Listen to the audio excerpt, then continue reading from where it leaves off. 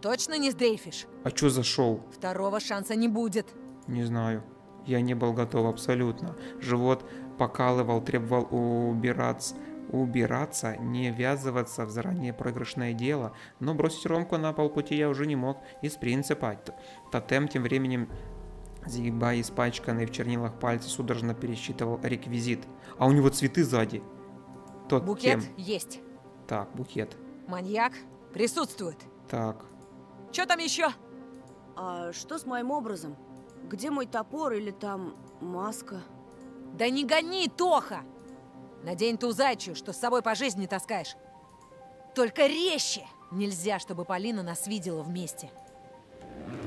Так, я с недоверием поглядел на Ромку, но пальцы уже нащупали бегунок на молнию рюкзака и потянули за него в предвкушении. Вместо того, чтобы удивиться, я испытал лишь облегчение, вытащив наружу мое настоящее лицо. Вместе с ним пришло и спокойствие, и колики улеглись. Я вспомнил ощущение полета, невесомости, счастья.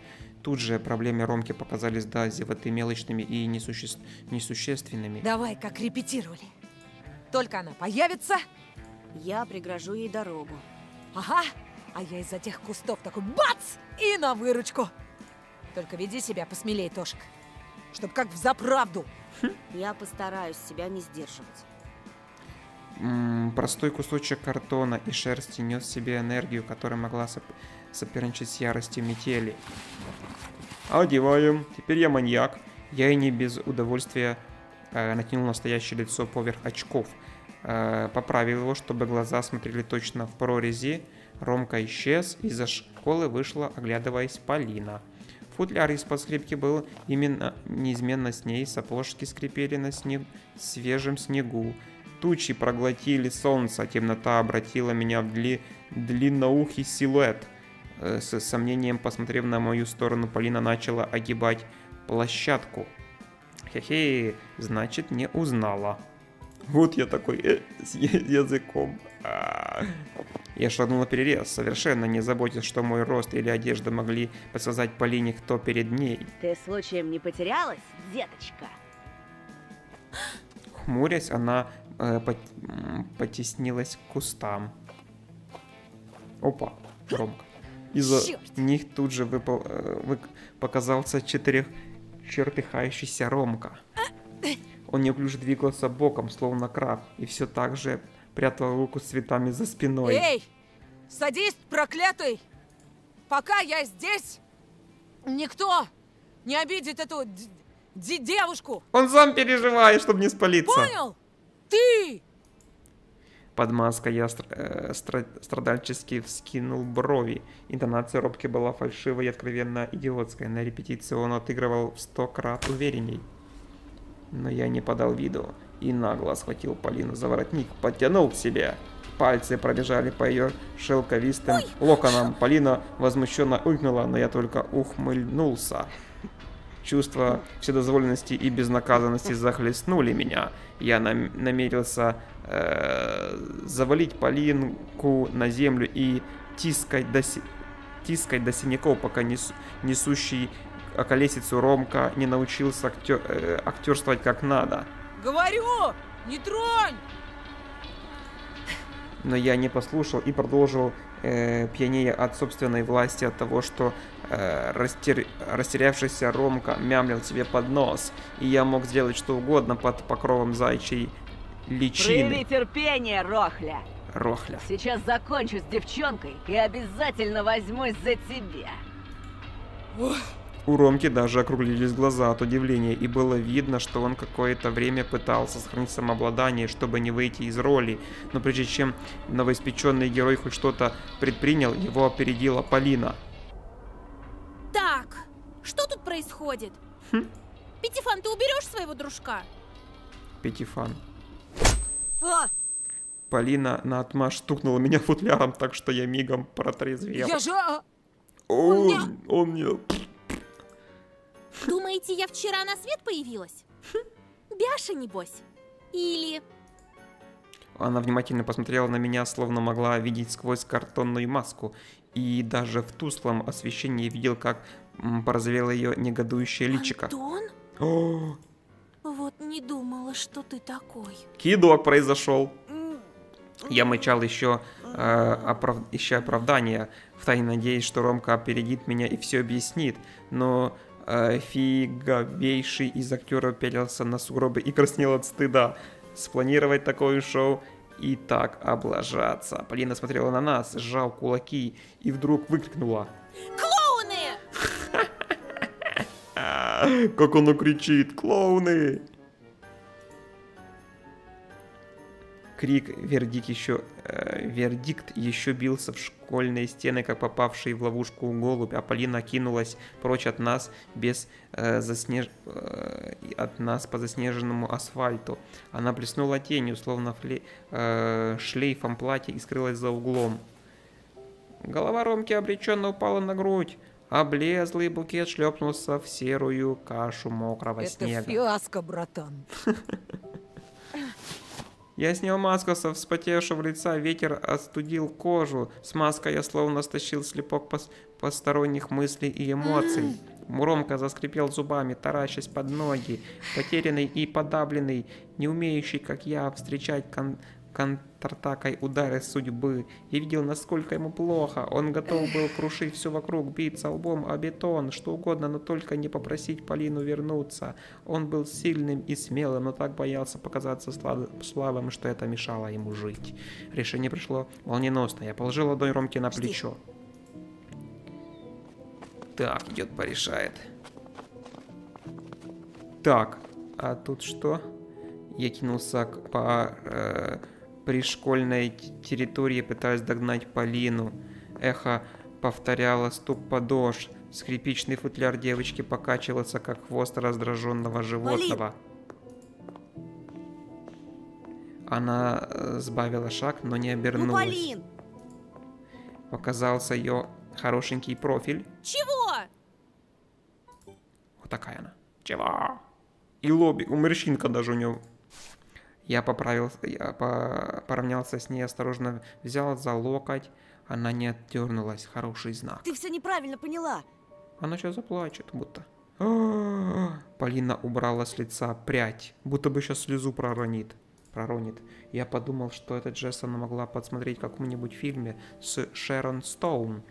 Голос ее оставался строгим. Что тут понимать-то? Ромка спланировал геройский поступок. В кавычках, конечно. А ты вызвался быть шутом, от которого он меня защитит.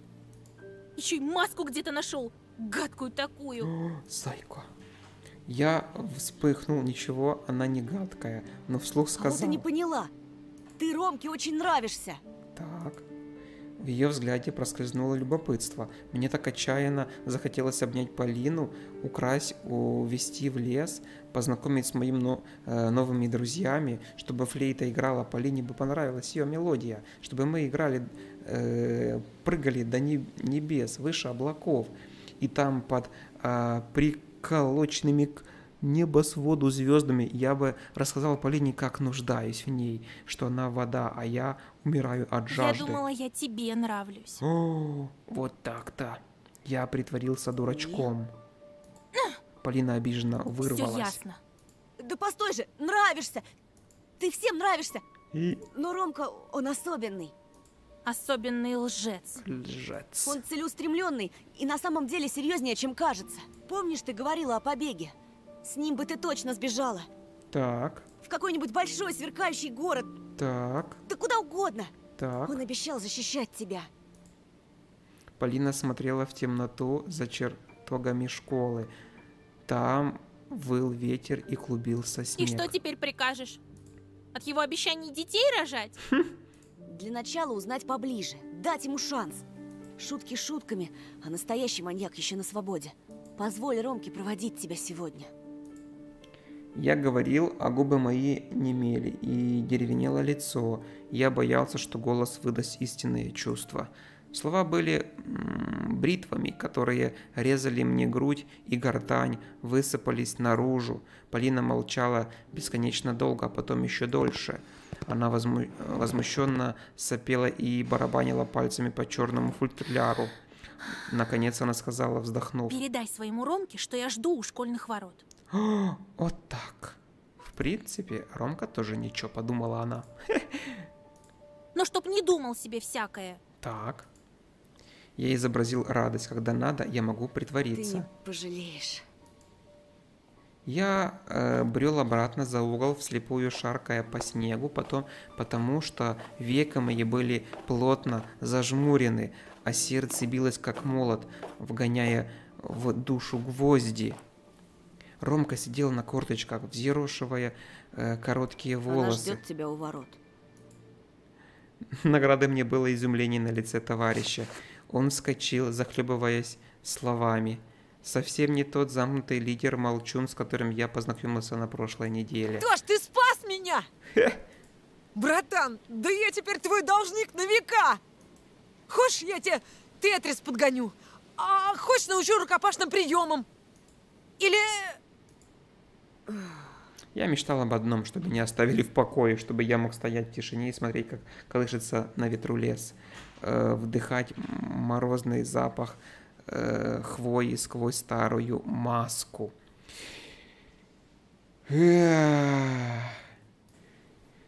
Так, вдыхать морозный запах хвои сквозь старую маску. Иди уже.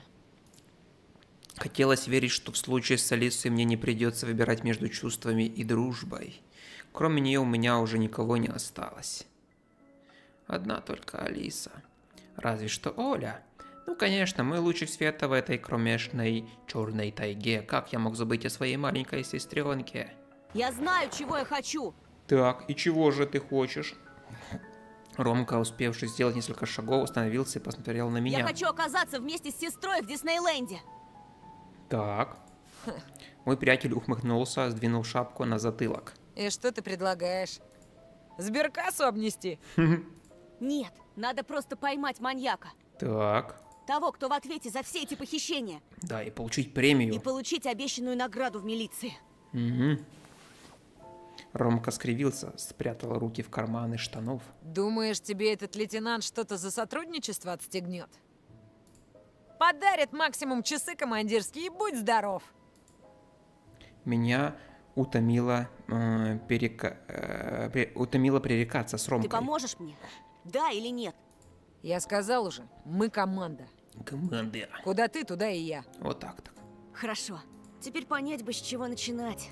Слушай, Бяша говорил, что слышал плач в буреломе за кладбищем. Готов поспорить, это была Катька.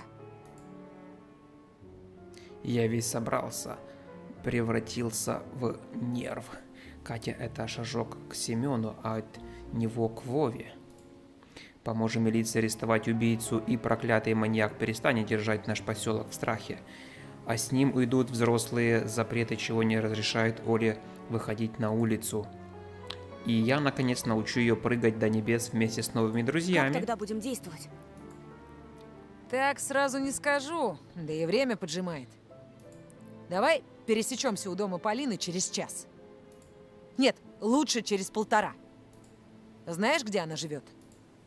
Я вспомнил номер дома, тайком подсмотренный в анкете Полины. Думаю, найду. Отлично, мне пора. Пошел радостный на все 32 улыбочка. И Ромка умчал, а я остался усмирять галоп в грудной клетке. Усмирять галоп в грудной клетке. Типа галоп лошадиный имеется в виду так, скач, ну, грудная клетка у него, сердце бьется. О, быть может теперь с Ромкиной поддержкой весь этот ужас наконец прекратится. Э, лузгающий э, семечки Бяша скривился, как только я подошел к нему. Смотрите-ка! Явился, не запалился на. Бросили меня тут на. И срулили вдвоем. Голубки. Приревновал дружбе. А еще на команда Вольтрона называется. Бяша нахо- нахохлился и демонстративно отвернулся.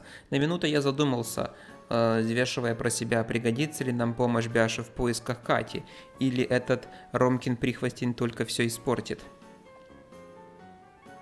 Позвать, не звать. Позвать, не звать. Позвать, не звать. Мы сделаем здесь по-хитрому. Нажмем Escape и сделаем сохранялочку новую. в слоте в своем. Позвать. Ну, Бяш, не обижайся. Ромка голову совсем потерял. Ты уж не злись на него сильно. Опа, мелодия сразу нежная. А про тебя я помню. Вот, держи от меня подарок. Я передал Бяше э, доработанный набросок Вольтрона огромного трансформера, собранного из пятерки роботов Львов. Себе! Это мне на? Спасибо, Антоха! Уважил! Задобрил его. Ты чего уж там? Через полтора часа встречаемся у Полининого дома. Намечается срочное дело. Бяша аж порозовел на Чем радостях. будем заниматься? Я грустно улыбнулся, оценивая наши шансы. Постараемся не пропасть без вести. Скривил рожицу свою. Самые длинные полтора часа жизни, словно миксер, размололи мой мозг до жидкой кашицы.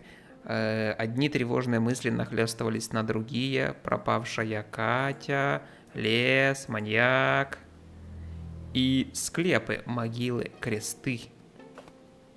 Бяша выполз из э, ранних сумерек квартале, однозначив- а, э, в квартале от назначенного места. Чего унылый такой, на? Свежих анекдотов нет? Я был рад видеть даже его фи- физиономию. Вся банда в сборе. Не обязательно было спрашивать Ромку о свидании. По улыбке до ушей становилось ясно, что прошло оно великолепно. Ромка шутливо боднул меня в бок. Ну айда, джентльмены! Джентльмен. Этот счастливый, тот несчастный. Фиг вас поймешь, на. А ты лишний раз, Беш, не думай. А то, глядишь, последняя извилина узлом закрутится. Так, мы пошли. В это время люди в домах спря- э, стряпали, смотрели телевизор, переругивались. Э, на крыльце курили хмурые мужчины, скрипел колодезный ворот. Метель обошла поселок по дуге. Но не она заботила меня и пугала. Лес вырос на нашем пути, то ли мы вошли в него, то ли он проглотил нас зубастой пастью. Сосны скрипели, и, а из тайги тонули э, зыбкие тени. Они выгибались по обе стороны от дороги. Никто из нас не проронил ни слова, ступая на просеку. Э, Сизая дымка струилась над оврагом, ее хвосты зави- завивались в прозрачном танце. В лесу тошноват, тошнотворно пахло э, воском церковных свечей, мутило рассудок, снег чавкал, проседая под подошвами. Кочки напоминали насыпи на могилах, а кресты заменяли перекрученные хилые деревья. Из заледеневших болот э, стена и- булькала э, стенала и булькала тьма, злобно завыл ветер, время перестало иметь значение.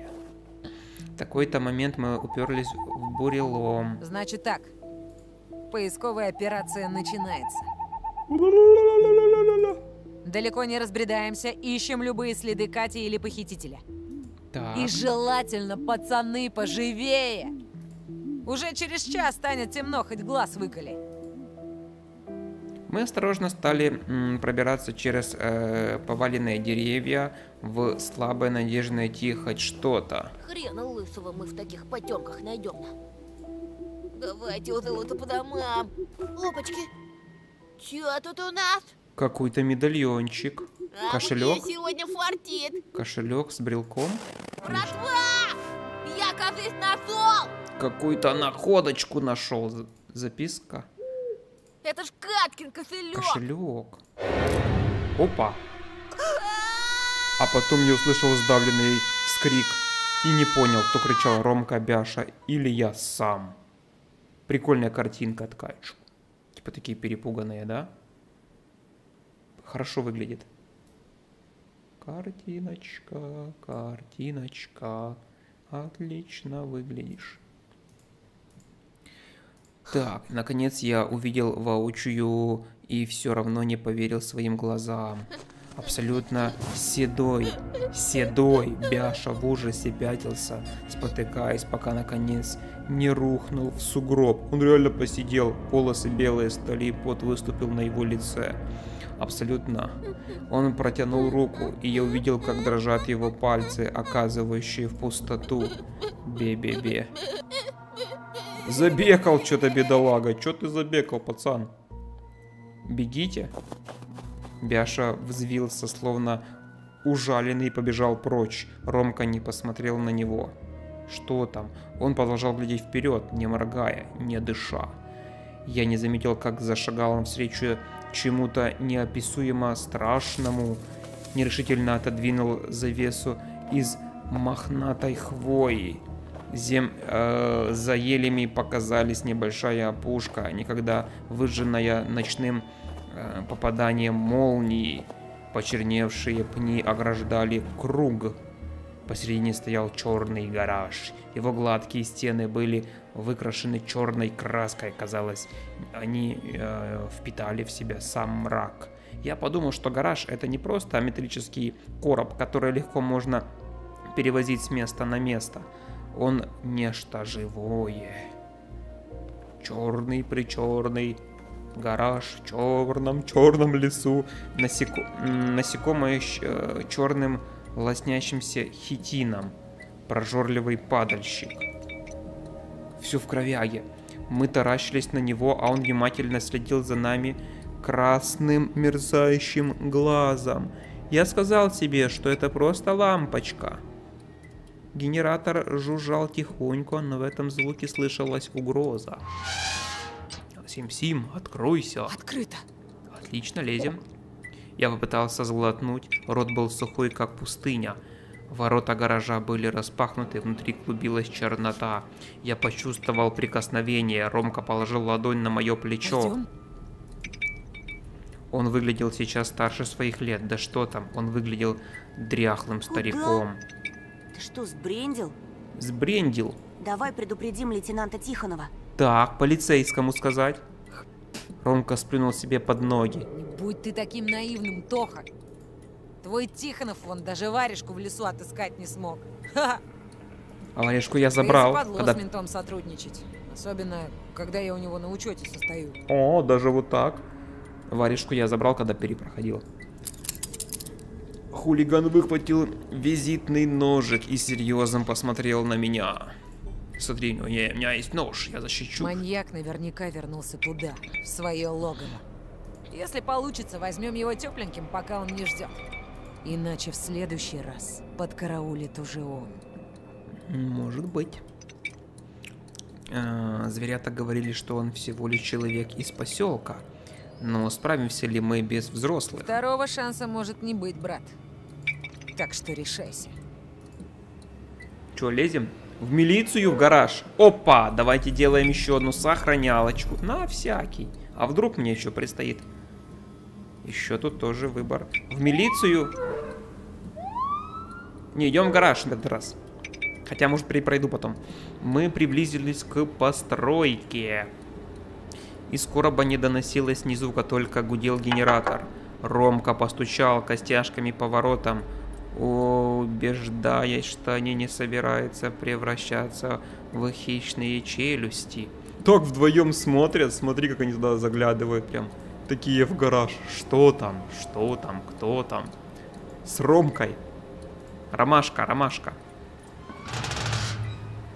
Так, осмелев, он распахнул двери пошире и принялся ощупывать проем в поисках выключателя. Помоги-ка мне. Чем включить? Только включить, без выборов. Включаем. Так, а это машина что ли стоит? Гараж оказался самым обыкновенным. Полки с инструментами по бокам, какие-то канистры, тряпки, да накрытая чехлом машина. Ни маньяков, ни жертв. Я даже усмехнулся от облегчения и прочел те же эмоции на лице товарища. Ромка вошел в гараж и обогнул по часовой стрелке автомобиль. Э, пошарил среди пыльных полок, посмотрел на меня. Я расхрабрился настолько, что перешагнул порог. В углах, э, как паутина, налипла тьма. Паук, если он и был, давно покинул гнездо. Мы же можем осмотреть. Ого, сколько моментов всяких. Давай начнем с коробки. Э, отсеченные конечности, груды фарша и головы, обле- об- облепленные мясными мухами. Вот что я вижу, заглянув в ящик. в «Ночном кошмаре» страшная версия «Поле чудес», в которой ведущий, хача и пуская слюну, вынимает из коробки истекающие гноем э, призы. Но наяву ящик пуст. Если что-то там и было, это убрали из глаз долой. Ого. Так, еще глазик могу нажать. Ящики, просто ящики теперь. Это что такое? Почему-то мне это, э, это так напоминает алтарь. Точно, гараж это церковь. А здесь атрибуты нечеловеческой таежной религии. Какие там циферки, буковки. Я немного собой загораживаю. Я не хочу видеть иконы этой э, звериной веры, древние письмена и железные реликвии. Да нет же, просто хлам. Никому тут не молятся, не бывает таких храмов, а воск на столешнице потому, что это электричество часто отключает, и хозяин работает при свечах. Поговорить пока не спешу. Не спешу. Это что такое? Тиски. Это ими сжимали, что хрустело между металлическими челюстями, что лилось на верстак из э, рвущейся плоти. Чугун от э, длительного использования совсем раскрошился. На это обыкновенные слесарские тиски. Такие же стоят в кабинете труда. Тиски для э, деталей, а не для жертв. Капли масла, не крови. Не спешу с ним разговаривать, не спешу. Тусклый свет не проникает туда, в темноте может быть что угодно. Вдруг она смотрит на меня в упор, прячась за кружевом паутины. А если встать на цепочки, пыль и рухлядь. Ну там какая-то полка и темнота, и там что-то тяжело рассмотреть, честно говоря. Так, это я для... Это теперь какое-то колесо. Ржавые железяки, похожие на стальные клыки в пасти этого мерзкого места. Или на пыточные инструменты средневекового палача. С каким, э, к каким прикоснешься, и на пальце сразу рассвет... рассветет рана а в порез просочится инфекция от ржавчины и засохшего жира, и ты сгниешь заживо. Там на щипцах что-то багровое, надо подойти и проверить. Краска. Это просто краска. Не спешу все равно разговаривать. Последнее. Это машина? Что же еще? Просто автомобиль, накрытый тканью. Внутри ни никого нет, ни живых, ни мертвых. Ни мертвых. Вонь э, застарелой крови, она, она только у меня в голове. То, что находится под мешковиной, пахнет машинным маслом, не более. Ну все, я все проклацал, ребят. Все точки были нажиты. Теперь поговорим. С... Ржавый хлам. Оказывается, это место капец какое унылое. Какому такому мудаку пришла в голову идея перевозить гараж с места на место? Я не знаю, но это как-то выглядит все очень-очень стрёмно. Пошли отсюда. А не хочешь это скинуть? Ага. Мне кажется, надо это скинуть. Давай догоним Бяшу. Ему крепко досталось. Мне может кажется... А почему машина работает? Почему она шумит? Я вышел под снегопад. Ромка уже топал к выходу, когда я вдруг ост когда вдруг остановился и задумчиво поглядел на автомобиль. Слушай, а что это мы с пустыми руками будем возвращаться? Поглядел на... Он хочет ты машину взломать? Дай-ка я хоть магнитолу скручу. О, вор! Обожди минуту, я мигом. Из-под чехла раздался всхлип. Кто там? Жили Катя. От неожиданности я чуть не плюхнулся в сугроб. Ты слышал? Она там. Она там, в машине. Я смотрел, как э, друг дергает за ткань, но подбежать помочь не хватило сил. Ноги словно примерзли к земле. Но Ромка справился без меня. Э, споротый и с помощью ножа споротый. И с помощью ножа чехол полетел в сторону. Под ним не было автомобиля. А что там? Что такое? Там, э, вырастая из пола, блестела машинным маслом огромная мясорубка. Я видел такую в одной передаче до 16 и старше. С, э, советская и российская телевизионная передача, посвященная проблемам молодежи, беспризорность, движение рокеров, теме наркомании и дедовщины, проблемы досуга и взаимодействия в семье. Промышленная махина, которой на фабриках перемалывали коровьи туши для колбасы. Кстати, помните, корова мычала? Было, было где-то, корова мычала. Ой, боже мой, коленки сдертые. Завязанная. В раструбе, напоминающем зев кровожадного цветка, венерной муха... Чё-чё? В раструбе, напоминающей зев кровожадного цветка венерной мухоловки находилась связанная Катя. Давайте рассмотрим, я даже вебку уберу. Видите, я тут часто мешаю своей вебкой. Ну, связали ее жестко. Эти, эти нитки у нее так... Кстати, по поводу... Помните, был разговор по поводу того, что у Кати первой округлилась грудь? Вот, тут даже это можно очень отчетливо заметить. Так. Она э, очнулась словно от сна, и ее глаза округлились от страха. Кляп позволял лишь хныкать и мычать. Скорее сюда! Она прям там внутри сидит, в той штуке. Там сейчас мясорубка ее скрутит, походу, раз, раз. Я сбросил себя э, оторопь, как тяжелый чехол, и рванул в гараж. Тем временем Ромка почти взобрался на стальную душегубку. Он взял Катю под мышки и, вероятно, коленом Ромка зацепил какую-то кнопку. Бля! Загудел механизм. Звук напоминал ворчание голодного желудка. Ромка закричал испуганно, явно сознавая, что он наделал. Так надо обратно нажать на кнопку, остановить. Выключи! Выключи ее! Надо найти, где там питание. Я сейчас, держись! Что-то нажать надо? Ничего. Ни одна чертова кнопка, ни один тумблер не могли остановить этот жуткий скрежет жерновов. Не работает! Ни хрена не помогает! Жопа Катя. Так вытягивайте ее! Так помоги мне! Мы согнулись над Катей и рванули ее за локоть.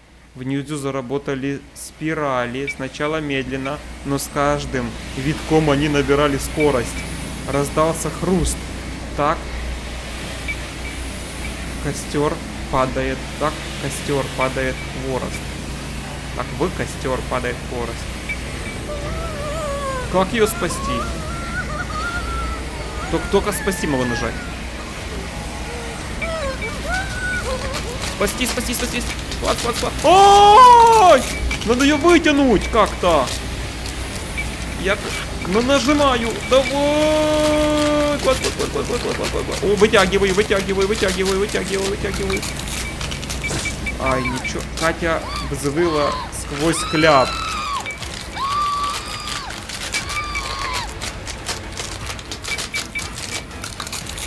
Походу жопа Кати. Не, у нее вон слезы. Не, я там начала калашматить. Но мясорубка не отпускала. Мясорубка питалась. Я кричал, увидев, как лезвие наматывает на себя лохмотья сплюснутых ног. Офигеть! Ноги Кати теперь напоминали измо... измоченные колготы. Кости проткнули кожу и торчали словно сучки. В багровом сиропе плавала белая коленная чашечка. Я тянул Катя на себя и чувствовал, что проигрываю.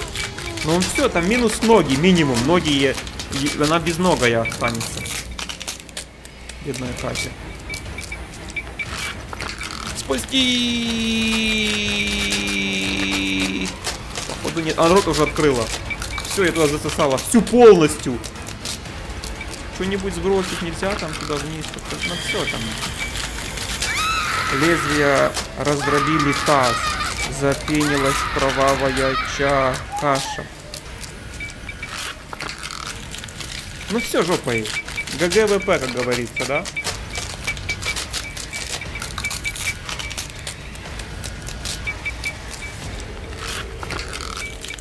Фу, Катя выла на одной безумной ноте. Глаза вылезли из орбит и белки стали красными от лопнувших сосудов. Лезвия дошли до живота, а легко выгребли из плоти сизые трубки кишечника.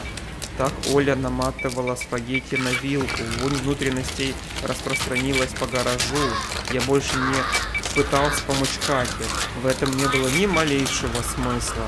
Голова девочки сводила, э, свободно болталась, мутные глаза смотрели в пустоту, мясорубка перед, перегрезла ребра и проглотила едва оформившуюся грудь.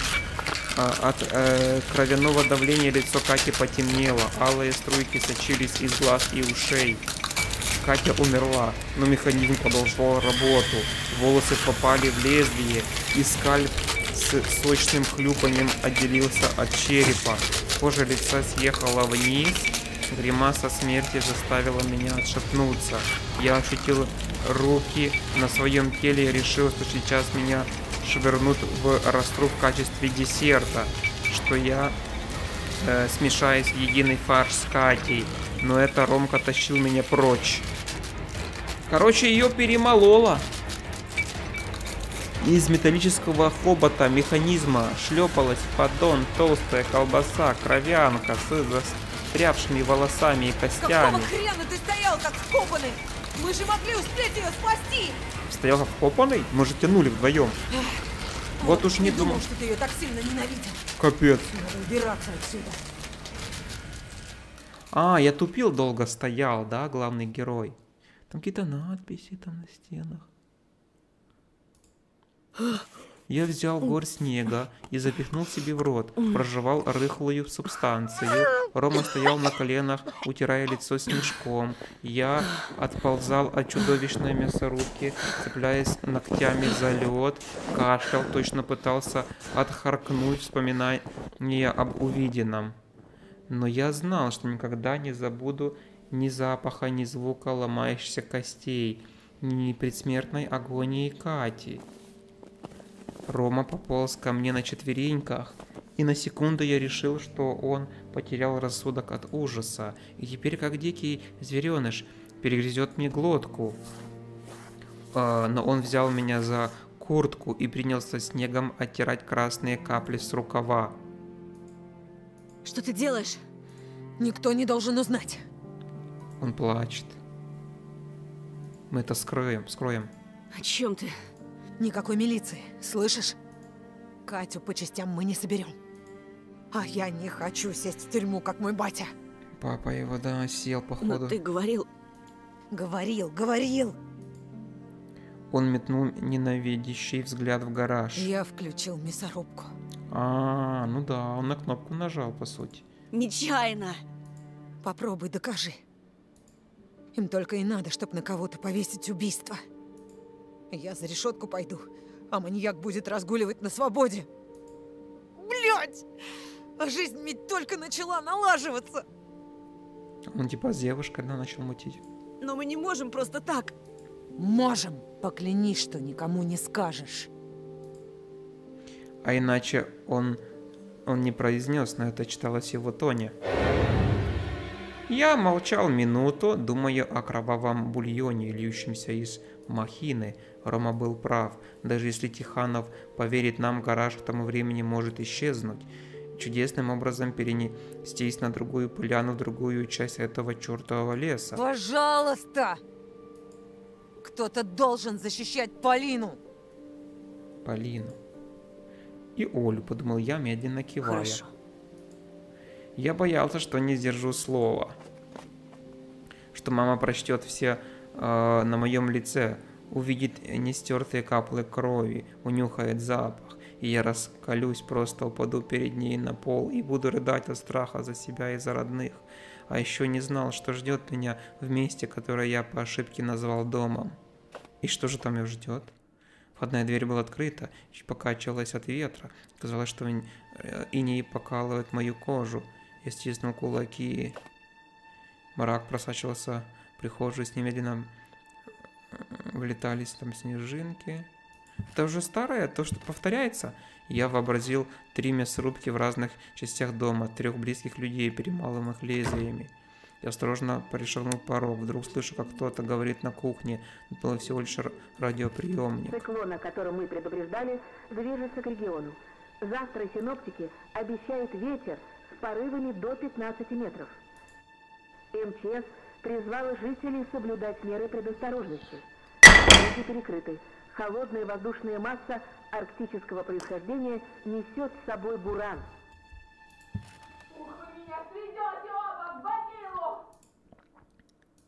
А это ссора родителей, да?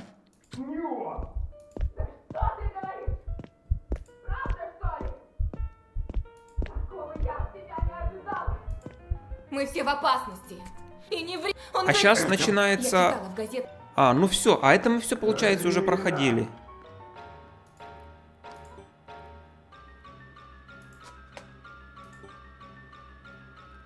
И почти вытолкнула из мыслей кровавый образ Кати. Что случилось? Они разведутся. Ну это я уже, да. Помочь одной девочке пытался. Помог ей. Не думаю. Оля вздрогнула и бросила ее на кухню. Ну только открыть могу. Бум-бум-бум-бум-бум-бум-бум. И это после всего, что я видел в гараже. Встречаясь с Алисой, я будто переходил через реку, журчание которой... Конфеты, это мы все уже с вами видели. Но мы с совой играли в снежки чаще под луной. Я думаю, что здесь уже дальше то же самое будет все. Что это мы уже все смешок. Конфеты, принять отказаться, типа меня загрызут. И тут, в принципе, то же самое все, я так думаю, что это в конечном итоге мы погибнем. Ну, в принципе, тогда я могу сейчас сделать что? Нажать Escape, загрузить. Мне интересно было еще вот этот момент. Интересно, да. В милицию. Со стороны гаража раздался хриплый смех, которого волосы на голове тут же встали дыбом. Но это всего лишь скрипела массивная черная дверь на холодном ветру. Это точно какая-то ловушка. Я в милицию решил пойти. Без милиции мы туда не сунемся.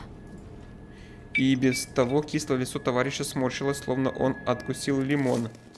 Ай, хрен с тобой. Только Так. попомни мои слова. Менты хуже душегубов. Так. Мы в полицию пришли. Дежурная часть. Дежурной части почему-то пахло чебуреками перемешку с сигаретным дымом. Чебуреки. Блюдо крымско-татарской кухни представляет собой кулинарное изделие в виде полукруга из пресного теста с начинкой и измельченной жирной баранины лука, специй и небольшого количества воды. Обжаривается во фритюре. Из глубины ча- участка приглушенно и тоскливо пела Татьяна Буланова. Казалось, э, под такие слезливые песни невозможно работать, только отпевать покойников у разрытой могилы. Так, мы можем тут тоже всякое рассмотреть. Решетка, раз.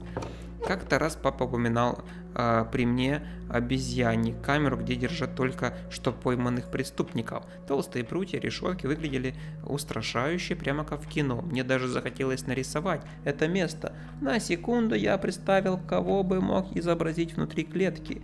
На ум сразу пришел Ромка. Надо сказать, он отлично бы сюда вписался. Так, противогаз. На спинке стула висел старый противогаз хоботом. Здорово, что в милиции не забывают брать тренировки, только вот почему фильтра не видно? Или противогаз здесь используют для чего-то другого? Мучает людей, походу. Я думаю. Допрашивает, скажем так. Так, глаз, глаза, глаза только два. Смотреть. Пропавшие, я мотнул головой, отгоняя мрачные мысли, э, стянул шапку и провел э, пятерней по взъерошенным волосам. Снег э, оттаивал с подошв, оставляя на плитке мокрые следы. Громко тикали часы, а со стенда внимания розыск на нас глядели сгинувшие в ночи дети. О, Ба, какие люди! полицай пришел. Вот он. Такой вот. Что, Пятифанов, сдаваться пришел? С повинной? Обхохочешься. Милиция. Да уж, смешного мало. Милиционер провел тяжелый взгляд на меня. Ты бы, Петров, друзей осторожнее выбирал. А то, считай, знакомый всего ничего, а ты уже дров наломал. На учет поставлю, как некоторых. Как некоторых. Ой, знаем мы ваши учеты, лишь бы отчетность закрыть. А настоящие преступники до сих пор на свободе. Но-но. Смотри, не образумишься, как папаша твой. По малолетке загремишь. Я вас еще удивлю. Я понял, что пора вмешаться в разговор, пока Тиханов не потерял терпение. Константин Владимирович, вы должны поехать с нами. Мы гараж нашли. Я заранее догадался, какой будет ответная реакция. Вон как. Гараж, значит. Дай угадаю. А в нем сокровища Стеньки Разина спрятаны. Что такое стенки Разина? Один из самых известных казачьих атаманов в российской истории. По легендам, он и его подручные зарыли в русской земле целые состояния с десятками пудов золота и жемчуга. Нет, но... Петров, Петров, признавайся, ведь не сам ты это придумал. Пятифанов подговорил, да? Все хихоньки да хахоньки. Хихоньки-хахоньки. Ой, Ромка закатил глаза. я предупреждал. Никто меня не подговаривал. Я сам видел, как вас вижу, в лесу, среди пней. Времянка это была, Антон. Времянка. Нет, гараж. Э, Старлей примирительно поднял руки. Ты хоть знаешь, что такое времянка? Ну, это... Не знаешь. Как ж ты их тогда отличишь? Охотники хибару сколотили для припасов. Охотники перемалывают мясо. Мы этих построек штук 10 проверили, пока лес обыскивали. И вашу, наверное, тоже шмонали. Проверяли, то есть. Шмонали. Хибары не едят детей, а черный гараж ест. Черный? Черный. Он крепко задумался, задумался барабаная, барабаня пальцами по столешнице с кипой бумаг. Видимо, не первый человек я, кто упоминает именно черный гараж. У меня появилась слабая надежда, что лейтенант прислушается к моим словам. На черной черной улице. В черный черный подворотне. Это я тоже говорил. Черный причерный гараж. Хватит тебя за шкирку. Шуточки, Приехали. шуточки, шутите. Я думал, Видите? Не забыл я еще детскую страшилку. Помню, малым так сестренку напугал гаражом этим. Три дня уснуть не могла, дуреха. вот глупый, зачем же так пугать? Тихона улыбнулся, блеснув крепкими зубами, а я подумал о своей Оле. Байка это, ребята. Ей сто лет в обед. Вы еще своим детям рассказывать ее будете, а те своим. Некоторые истории, особенно дурные, они, увы, вечны. Последний раз всхлипнула и замолчала Буланова. Наступила гробовая тишина. Будто на автопилоте я побрел к стенду, оставляя за собой мокрые следы. Я теперь стоял в упор, разглядывая фотографии Се- Сенечки, Вовы, Семена и Кати, а они в ответ таращились на меня. Когда рука Тиханова легла мне на плечо, я невольно вздрогнул. Эх, Антон, знал бы ты, как часто я на них смотрю. Музыка. «Не-не, высока». Лучше бы преступника ловили, а не на фотки пялились. Я думал, Тиханов обозлится, но он проглотил колкость наглеца. По-вашему, я не хочу на этого козла браслеты надеть? У какой у него рожа. Взять под белые рученьки да к стенке поставить? Да я с этой мыслью и спать ложусь, и просыпаюсь. Знаете, что мне снится ночами? Вам лучше и не знать. А, Словно сгорбившись под св- э, с весом тяжелых мыслей, он медленно подошел к столу и вздохнул. Мы слушали молча. дело это глухарь. Глухарь. Нашли мы детские следы, ведущие в лес метров на 50. Да только там они и обрываются. Детские следы, которые обрываются, потому что потом дети превращаются в животных. А дальше сплошная чертовщина. Привлекли кинологов. На собаки след не берут. Скулят только жалко. Потому что боятся демонов и хранителя леса. С добровольцами весь лес прочесали, ни единой зацепки. 25 квадратных километров истоптали. Маньяк этот в норах звериных прячется, что ли. А на днях кто-то из местных заявил, что слышит детский смех по ночам. Мол, это пропавшие дети к нему с того света являются и в окошко заглядывают. С ума все посходили. Ну что тут взять?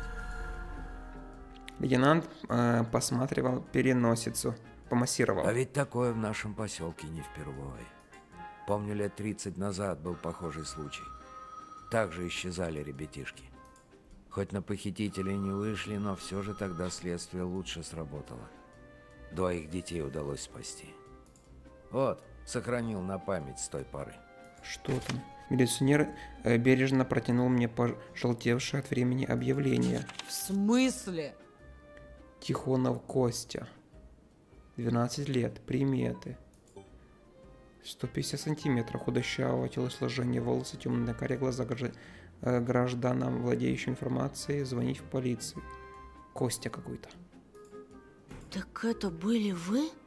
Он выжил тогда. А, полицай типа? Так точно. Я ведь в этот участок в первый раз в вашем возрасте попал. Помню, зима была, метель. Но вот дела. Что со мной было, хоть убейте, не помню.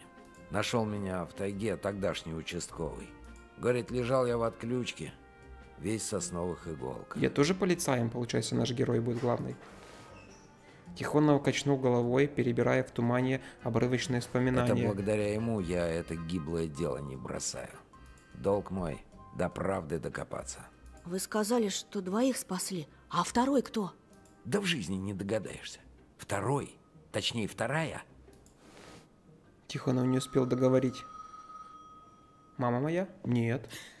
Распахнулась дверь, и вместе с ветром в участок ворвалась запыхавшая Лилия Павловна. Вот она. Это учительница наша, которая? Лилия Павловна. Я подобрался от, э, подобрался от неожиданности и встал по стойке смирно, однако учительница вовсе нас не замечала. Нет ее! Не пришла! Вы сказали, придет! Сказали, она у подружек, а ее нет! Не вернулась, потому что это девочка. А, Нет моей Катеньки! Катенька, это ее дочь, походу. Девочка единственная! Лилия Павловна заплакала на взрыв, покрыв лицо руками. Мы с Ромкой быстро переглянулись. успокойтесь. Тише. Да как же мне успокоиться? Кровиночка моя! Лейтенант, лейтенант обнял Лилию Павловну за плечи и коротко мотнул головой в нашу сторону. Брысь. Брись. Пятясь мы выбрались на порог под немыс, э, немилосердные удары ветра. Дохлый номер. Не помогут нам мусора. Одна надежда на нас самих. В эту минуту мне казалось, что в мире нет ничего, кроме ветра и долговязых теней, блуждающих в потемках, и что нам самим суждено стать такими же тенями. Ромка протянул мне руку, прощаясь. Я подумал, что как только разожму его ладонь, то сам очнусь в лесу без памяти, если только меня не сожрут заживо. Он отпустил руку и ушел, а я ежился на морозе, долго не решалась покинуть освещенный пятачок перед милицейским участком. Входная дверь была открыта, я чуть покачиваясь от ветра. Мне показалось, что, именно, что иней покрывает мою кожу. Я стиснул кулаки. Мрак посочился. А, все, мы вернулись домой. Мы в гараж типа не зашли, пошли к полицейскому. Но, видимо, я так подозреваю, немножко признаюсь вам сразу честно, что я там чуть-чуть там спойлерил себе, ну, как бы, когда искал какие-то гайды, как что где нажимать, какой диалог вести, с кем, то я там увидел, Э, к региону. что была мысль, что, возможно, как-то разработчики, когда выпустят обновление четвертую, э, пятую главу, что как-то можно будет с полицейским что-то там надо будет сказать или что-то ему отдать, или что-то ему предоставить, какие-то доказательства, чтобы он все же с нами пошел туда в гараж. Может быть, мы ее сможем спасти, эту, а, эту Катю. Но пока что вроде бы ее спасти нельзя, как я понял, читаю в интернете всякие гайды. Вот такая вот информация. Все тогда, мы прошли, все, что могли, прошли, все, что вроде весь контент, который в этой игре был, я посмотрел. Может быть, что-то упустил, но вам виднее, в общем, пропустил я что-то или не пропустил. Но пока что все, конец. Подумаю, что дальше снимать. С вами был Ниломоп. Увидимся в следующих роликах. Всем пока.